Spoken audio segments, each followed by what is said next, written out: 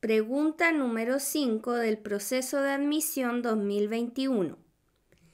¿Qué porcentaje es A más B de A por B? Para calcular qué porcentaje es esta cantidad de A por B, tenemos que dividir la cantidad dada A más B por el total A por B.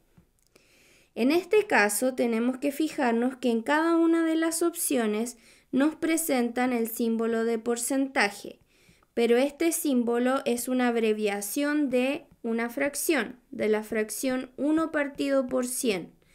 Por lo tanto, para que nosotros podamos obtener esta cantidad, incluyendo el símbolo de porcentaje, tenemos que multiplicar por 100, de modo que al escribir esto de manera expandida nos va a quedar esta expresión 100 por A más B por 1 partido por 100, que es el símbolo de porcentaje.